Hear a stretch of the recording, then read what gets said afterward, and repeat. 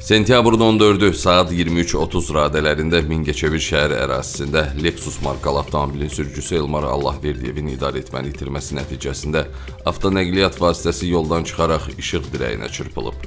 Daxili İşlər Nazirliyinin mətbuat xidmətinin regional qrupundan RTV-yə bildirilib ki, nəticədə avtomobildəki sərnişin 1994-cü il təvəllüdlü Rahimə Allahverdiyeva aldığı xəsarətlərdən hadisə yerindəcə ölüb. Sürücü və 2 az yaşlı olmaqla 3 sərnişin müxtəlif dərəcəli bədən xəsarətləri alıblar. Faktla bağlı araşdırma aparılır.